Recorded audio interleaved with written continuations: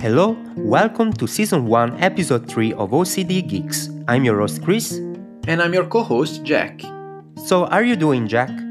Not bad. This week, restaurants and pubs are finally open to receive customers. I cannot wait to go out for a beer with a friend. I truly missed it. What about you, Cris? Well, since my OCD is related to contamination, it's still quite early for me to go out to meet friends. Even before the pandemic, I've had quite a few struggles.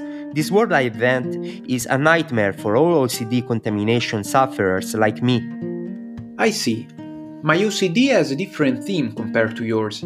It has more to do with my breathing pattern, but I totally understand your point. I hope the situation will get better worldwide, day by day, and we can go back to the life we know as soon as possible. After the last episode, our listeners may think we are already done with music, but music is not done with us. This topic haunts us, and we want to share how our mental tastes change throughout the years, how they evolved, and also how we remain faithful to our roots. Easy to say, the bands that accompanied us throughout the early and very delicate moments of our life, the soundtrack of our first experiences, about when we start building relationship with our friends, feeling independent from the family, or simply perceiving ourselves as growing up, will always hold a special place in our heart.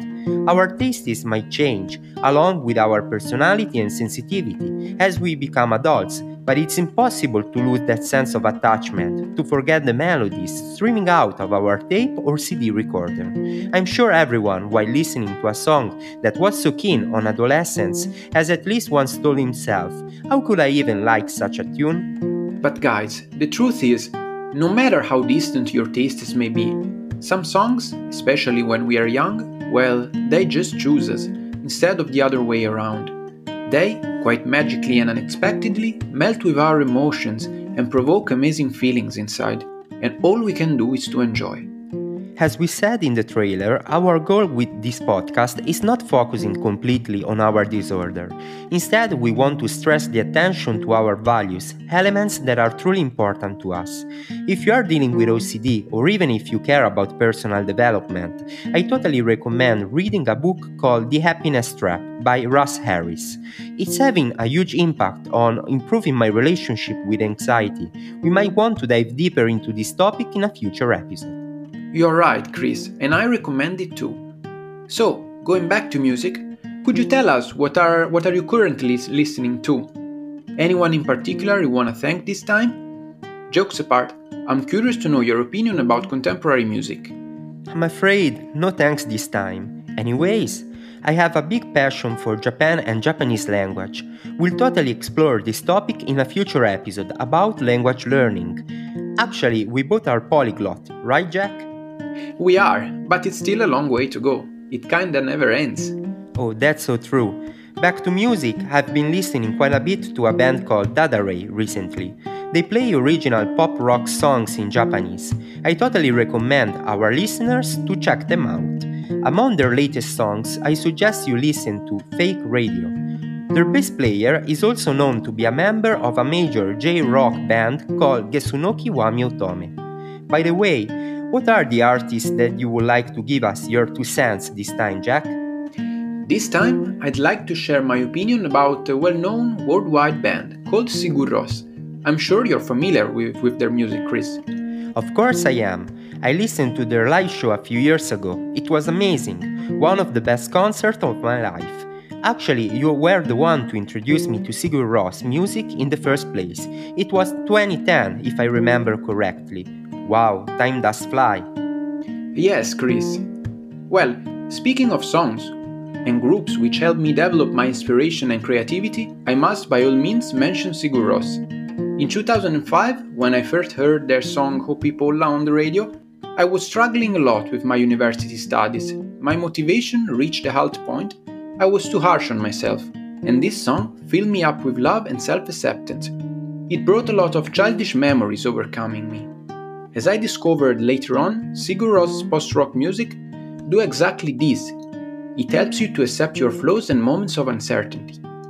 Their melodies can be like cuddles. They align with nature, and you can imagine yourself wandering around those majestic Icelandic landscapes where this group belongs. The very peculiar thing is that, their lead singer, Jonsi, has a unique style. He usually uses his voice as an instrument and plays the electric guitar with a cello bow. Kinda mix between me and Cris if we were the same person. Well, maybe you watch quite a bit of Dragon Ball Z. At least as much as you. Oh, I love that anime so much. Back to Jonsi, he often produces onomatopoeic sounds to enrich his music. His first solo album, Go, is a fusion of all these elements. If you happen to feel anxious or sad, I'd recommend you to sit quietly in your room or in a safe place. Put the headphones on and abandon to the notes of Tornado. That is what I call mindful music, music that can restore your soul. Yeah, and I still remember covering together songs such as Boy Lilikoi and Go Do.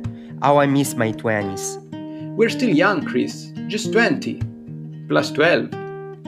Joke apart, guys, don't focus too much on the passing of time. Take good care of all the precious memories you have. If you are struggling with a mental disorder or anxiety, don't let it take you away from the present moment. Now is the only time you can truly live. If you're curious to dive deeper into this topic, I totally recommend the wonderful book The Power of Now by Eckhart Tolle.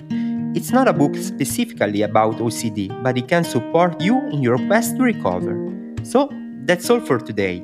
Feel free to reach us as chris.ocdgeeks at gmail.com and jack.ocdgeeks at gmail.com or simply follow us on Instagram on our page OCD Geeks. Your support helps a lot to let the world know about the podcast. So, until next time, let them talk our freaks. We stay tuned on OCD Geeks.